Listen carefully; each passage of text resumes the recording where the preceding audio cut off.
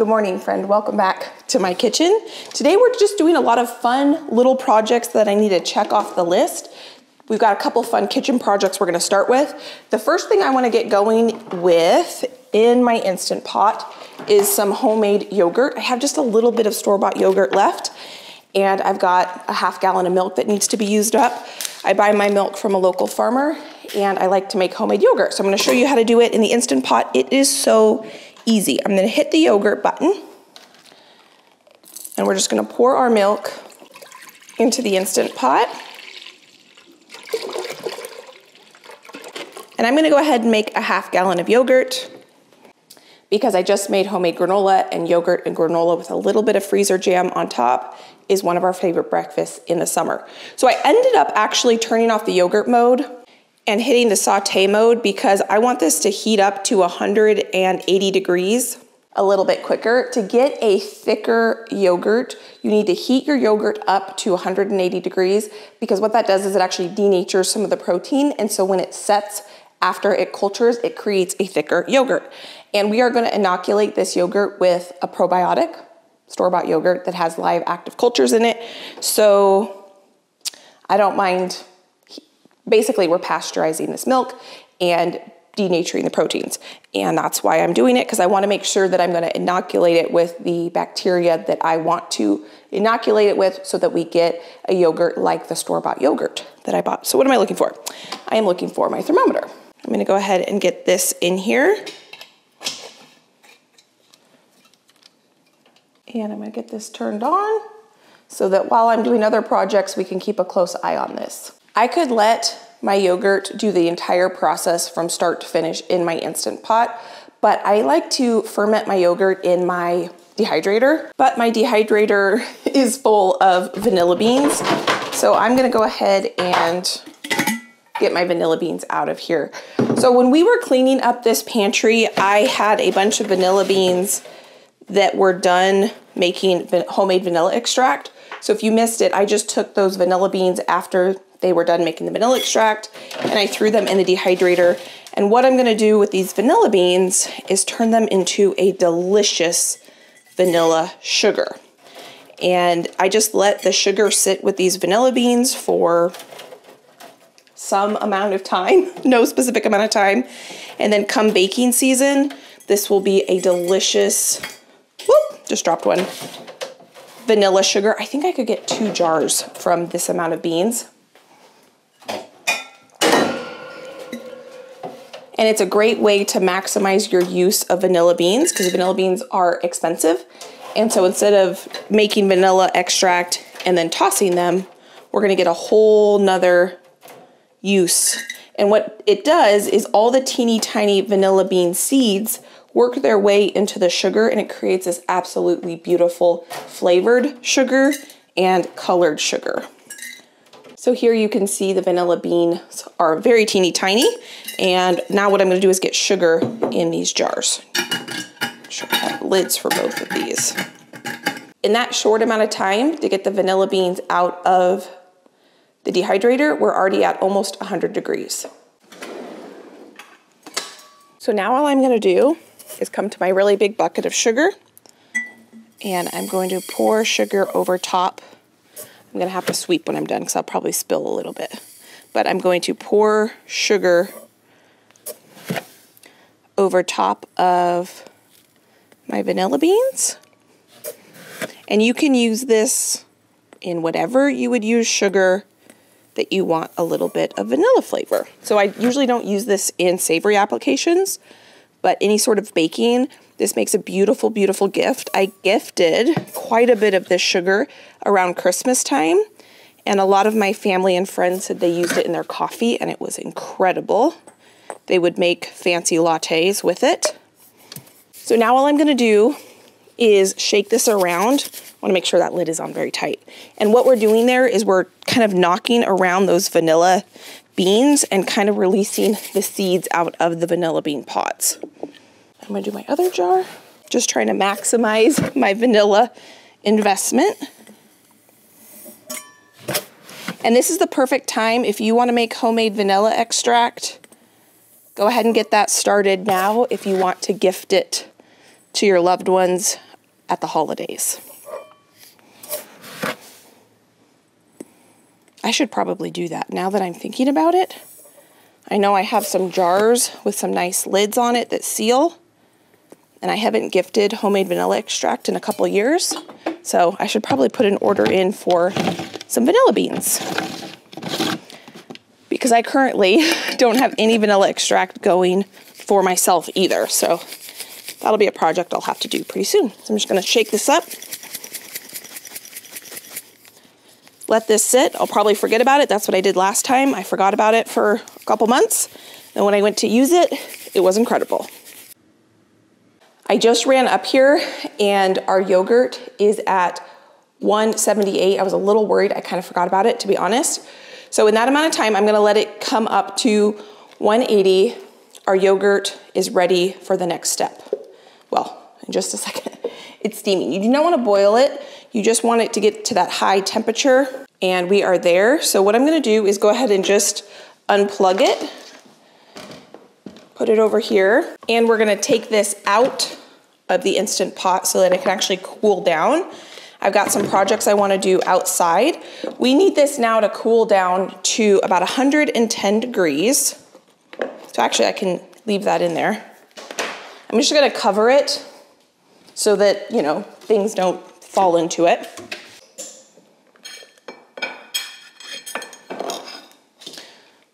Perfect, so I'm gonna put the lid on this and we're gonna go do projects outside while this cools down and then we can introduce our starter culture to it. If I was to take my starter culture and put it in here right now, it would kill any sort of culture because it's too hot.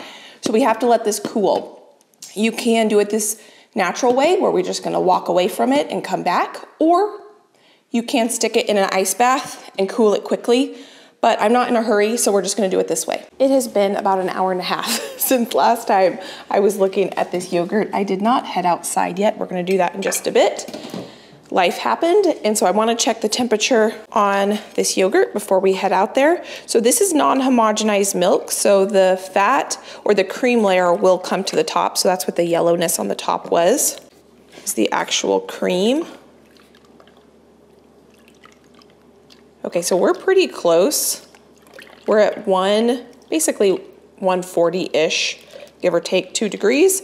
So 138. So we're gonna go ahead and Come back in about 15 minutes and it should be ready for the next step. My Roma tomatoes need some maintenance, so that's what we're gonna go do next. So I need to grab my wheelbarrow and I've got some carrot seeds in here. I think I'm gonna leave these in here because I might plant a few carrots. Gonna take these guys out. I also wanna plant some lettuce while we're out there. Some more basil and some more lettuce. We've got some harvesting we're gonna do.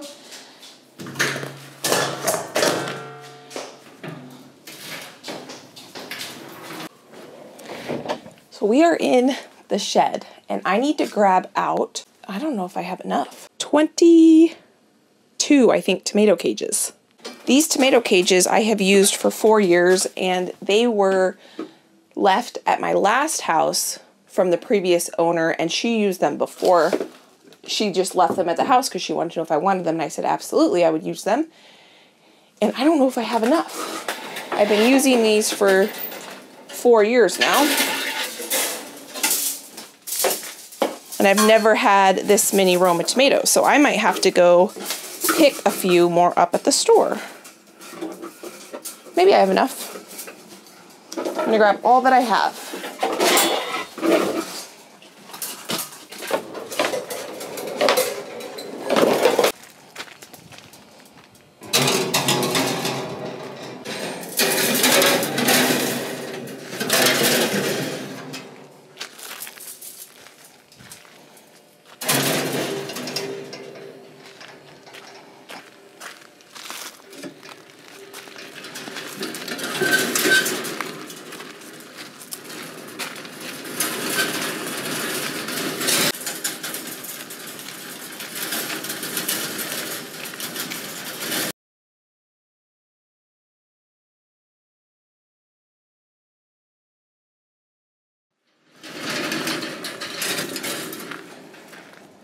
We did it. We made it down here without losing any of these. So the only tomatoes that I'm gonna be putting cages around are my Roma tomato plants. And I'm pretty sure I have 22 of them. And here's the first bed. The reason I'm putting tomato cages around these and not my tomato plants up there is Roma tomato plants only get to a certain size. They're kind of like a bush style tomato versus the tomatoes that I have up there are a vining style tomato. And so they want more vertical trellising. These do well with a cage.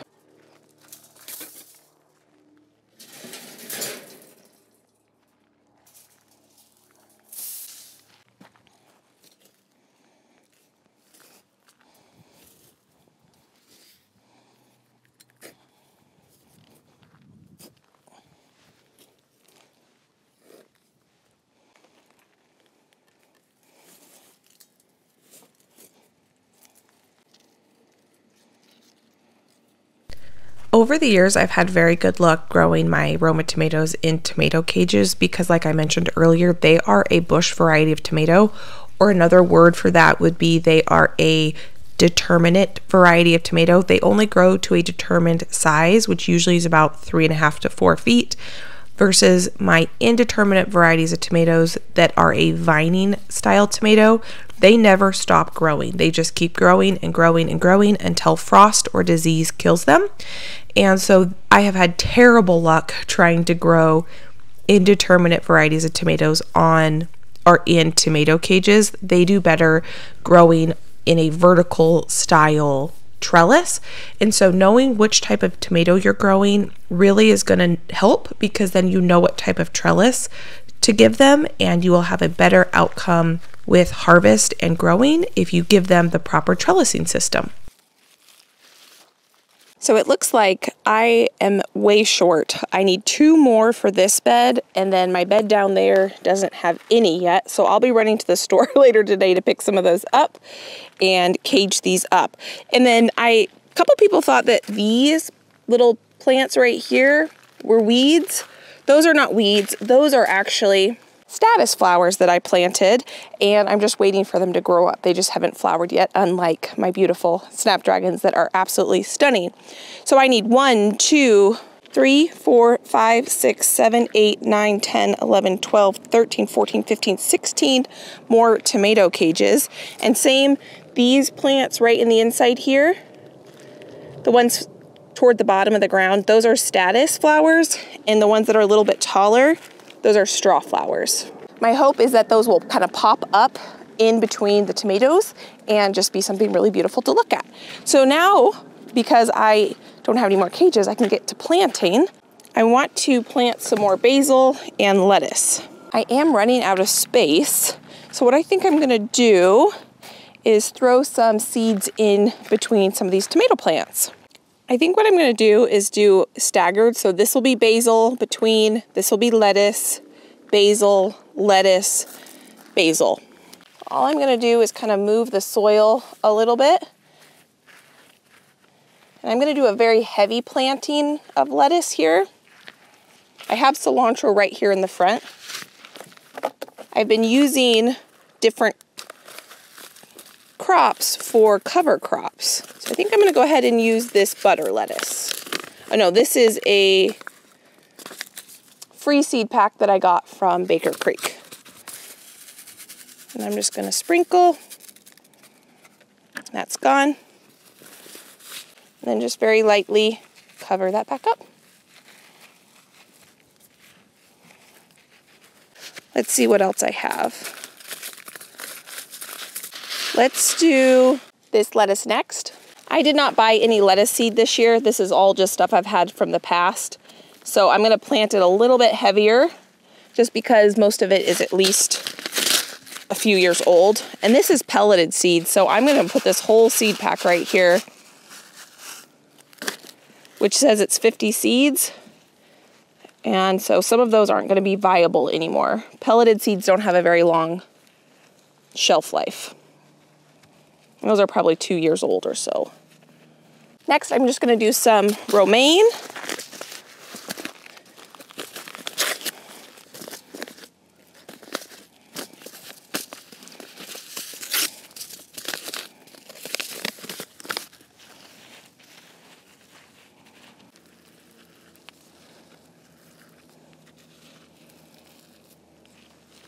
For the basil, I'm just gonna do a Genovese basil and I'm gonna do that between where I have the lettuce. When I went to a gardening class, they talked about using things like lettuce and spinach and herbs, cilantro as ground cover as a way to prevent weeds.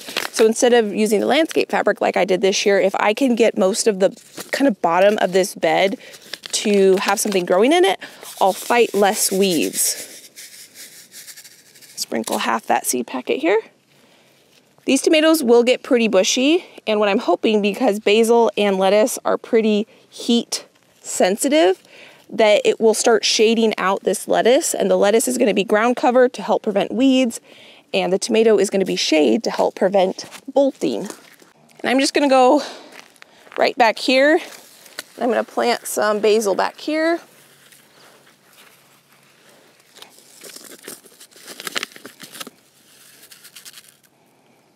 So now I have lettuce, basil, lettuce, basil, lettuce. And on the opposite side, I have lettuce, basil, lettuce, basil, lettuce. And I definitely won't remember that, which is fine because when they germinate, I can definitely tell the difference between lettuce and basil. But I'm excited to see how that goes. So I'm gonna do something different on around the tomatoes at the other end. I'm not gonna do that and we'll just see if one of the beds does better than the other.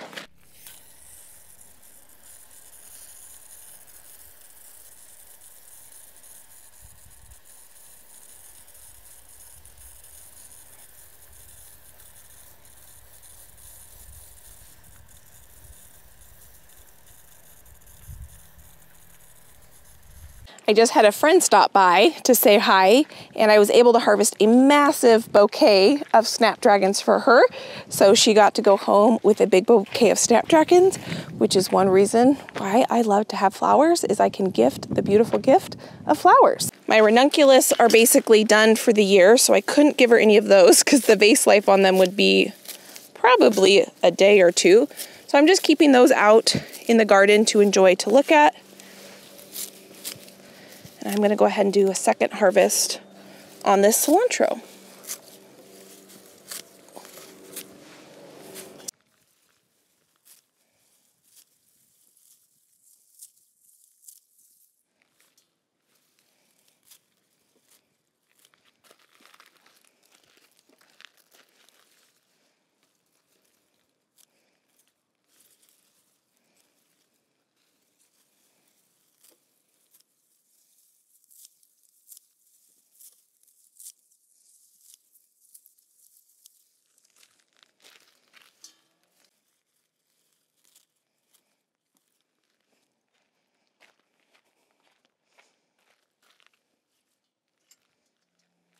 So I am very happy. This is the second harvest of this size of cilantro. Plus I've gone out there many times and just harvested handfuls of cilantro to put on our dinners and lunches and breakfasts. I'm gonna wash my hands because at this point I'm sure our yogurt is ready for the next step. It's okay if it gets a little bit cooler than I wanted. Cooler is better than too hot. What I'm gonna do with this cilantro is freeze dry it just like I did the last batch, but I need to wash it first and I'll do that later. I do wanna go down and collect the chicken egg, so we'll do that after I get going on this next step with the yogurt. So here you can clearly see the yellow on the top. That is the cream. And I can just stir that in. And we are at 105, which is perfect. Now this is the yogurt I'm gonna use for my culture. You can use any yogurt that says live active cultures. And then it lists the cultures that are in this. And you can see we're almost out. There's probably about a quarter of a cup in there. So what I'm gonna do, nothing super fancy here. I'm never exact or precise when it comes to this.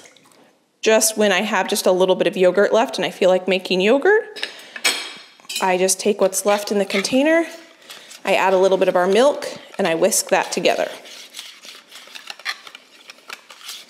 And this is gonna inoculate our yogurt. I can tell that it's a little bit thicker.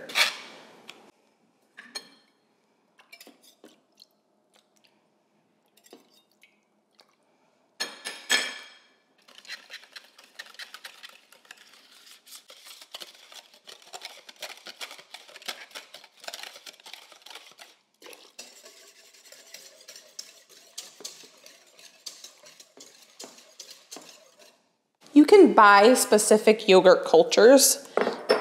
I have never done that. I have always just used leftover yogurt that I have in my house. And now I'm gonna go ahead and pour, whoop, slash spill a little bit, but that's okay, my milk into quarts. And the reason I'm putting these in quart jars, not a half gallon jar, is because this is easier to serve when I go to serve it. Instead of having to dig into a half gallon jar, this is a lot easier. Looks like I have a little bit more. Let's see if I can get it to fit in there. I think we'll have one serving personal size container of yogurt. You could do all of these in personal size jars. I had never thought about that until just now. Instead of doing one or two big jars. Okay, so that's perfect. Now I'm gonna put these leak-proof lids on here, tight. Just because I've had yogurt spill in my dehydrator before. And now all I'm gonna do is I do like to take a towel just because I've had this kind of drip out a little bit and it's easier in case it does and put that in the bottom of my dehydrator. I'm gonna lay my jars in here. They're nice and tight. Oh, that one I can stand straight up. I think on my bigger one, I can stand quart size jars up, but this is my smaller one.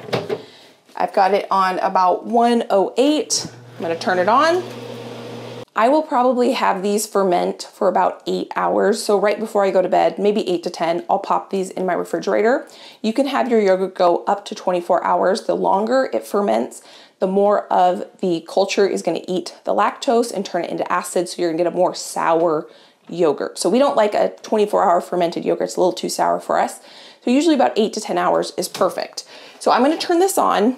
I might turn it into Greek yogurt tomorrow. I haven't fully decided. All Greek yogurt is, if it's true Greek yogurt, is you take your yogurt and you strain it through some cheesecloth for about an hour or two and you remove some of the whey, the liquid part, and you get a thicker, creamier yogurt. And I haven't decided if I'm gonna do that yet. We like Greek, Greek yogurt around here, but I know that we will serve this with the homemade granola we made together in the last big cooking day and probably a little dollop of jam because that's how we like to eat our yogurt. We had rain for the last four days. So when it rains, they do come in a little bit dirtier. And look at this. That looks like that egg does not have a yolk on the inside. I have never seen that since they first started laying four years ago. Is that something that happens when chickens get older? Do they sometimes lay eggs without yolks in it? I'm gonna have to do some Googling because I am not sure about that. I know it's really common when they first start laying to lay eggs that don't have yolks in it, but I haven't seen that since they were just wee little chicks. What I need to do is go in and wash these eggs while they're still intact and while I remember that they're in my pocket because I have definitely put eggs in my pockets and forgot that they were there and smushed them and that's the last thing I want to do.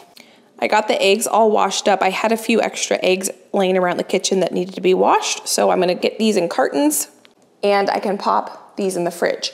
The next project I'm gonna do is I'm gonna go ahead and wash up the cilantro and get this in the freeze dryer. I'll probably put a big handful into the refrigerator that's washed up so that I can use that in the next couple days whenever we need cilantro. And we were able to get quite a few just small little projects kind of chicked off, chicked, ticked off the list. We got our yogurt made, we got our vanilla sugar made, cilantro harvested, a few more seeds in the ground, and the only thing I couldn't finish is I need to go and get some more tomato cages next time in town. I probably won't make a trip just to go get those next time I'm in town. I'll just pick a couple extra up and that way we can go ahead and get those tomatoes caged. They will be fine if they go another few days without being in the cages. I just don't want them to get too incredibly big because then it is hard to kind of put the cage around them. And maybe I'll experiment. I've seen the square ones that are a little bit bigger Maybe I'll try picking up some of those and doing a side-by-side -side comparison. I'm not exactly sure. I have to go to the store and see what I'm looking at before I fully decide what I'm gonna pick up. So I'm gonna go ahead and get this washed up and put this in the freeze dryer. I just showed you how I did this. I'm gonna do the exact same process, wash it in my salad spinner, tap it, pat it dry, put it in the freeze dryer, and then in it only took about 12 hours, I think, and it was completely freeze dried, and I'm absolutely loving it. I can actually show it to you right here. One big colander like that gave me a half gallon of cilantro that I am going to try to save and not use until there's no more fresh cilantro coming in out of the garden. Once I can't harvest fresh cilantro for fresh cooking, then I will break into the freeze dried cilantro. But this stuff is incredible. It smells and tastes just like fresh cilantro when used in things like salsas and pico de gallo and whatever type of cooking you want cilantro for. So I'm hoping that we will get another half gallon worth of cilantro out of this because I did save some and put it in the fridge and use that for fresh cooking. And I also threw some in the freezer, which I have not broken into. Next time I use cilantro in cooking, I will break out the stuff that I froze so that we can see how well it freezes. Some of you have said you've had good luck with freezing cilantro, and some have said you have had poor luck freezing cilantro. So I'm curious, I've never done it, so we will see next time I need to use it in a cooked application. I did read that you only want to use frozen cilantro in cooked applications because it gets kind of wilty versus freeze dried you can use in fresh applications like salsas and things like that. It's the next day and I'm just making a quick slaw and I'm going to use yogurt as part of the dressing. I already put a bunch of lime and salt. I'm going to put some chipotle powder on there in a second. And let's see, I opened this one already. I wanted to show you how thick this yogurt came out. This is not me straining it. This is right out of the dehydrator and into the refrigerator overnight. And it's thick and beautiful. So I don't think I'm gonna turn this into Greek yogurt. And look how awesome this turned out. You can see this little yellow on the top. That yellow is the cream. So that's technically sour cream. And this down here is yogurt. I'll just mix all of that together and we'll have a nice rich yogurt. But this has me thinking that it would be fun to do some individual size yogurts, even in the half pint jars and have individual yogurts in there. And then I could flavor those up and they'd be ready for the week. But anyway, I wanted to show you that. This is cabbage, onions, tomatoes, some yogurt, tons of lime, salt, tons of cilantro from the garden, and then I'm gonna put some chipotle powder. That is going to be part of our dinner tonight. So friend, thank you so much for taking time again out of your day to spend time with me. If you wanna watch some of my other videos, I'll pop those here. You can go enjoy between now and my next upload. I hope you are having a fantastic day and I can't wait to see you next time. Bye friend.